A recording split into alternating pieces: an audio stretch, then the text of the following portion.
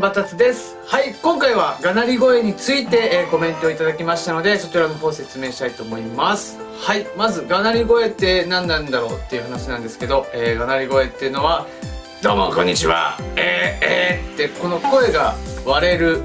それで、えー、歌うという。最初のアクセントにうわーとかそういうのをつけると、えー、いい、えー、技だよというのが、えー、がなり声で、えー、はいということで練習方法なんですけど、えー、すごく簡単な方法は、えー、咳払い。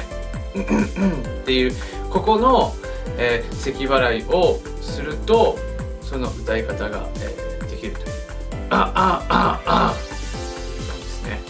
これで、えー、これを下の方であああなるとこのえっ、ー、と銭形系。バーンていう声が待ってるのと、えー、あと、まあ、この前歌った、えー、大都会だったら裏切りの言葉にあーっていうこと喉の方咳払いを下の方に。作るあーっていう感じですね。はい。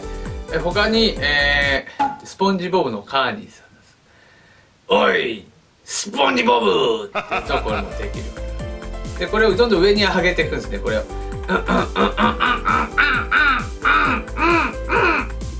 上に上げていくと魔人ブーになるお前お前はいこんな感じでぜひやってみてくださいはいでこれを、えー、歌に応用する場合はそこをしっかり咳払いで大丈夫ですあーあーあーあーあーあーあーこの時に喉でやるんじゃなくてちゃんと腹式で「裏切りの言葉に」とか「あーあーあーってやればより良い、えー、かなり声が、えー、なると思いま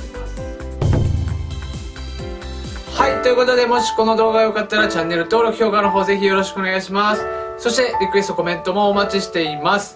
はい、小畑チャンネルでした。またね。バイバイ。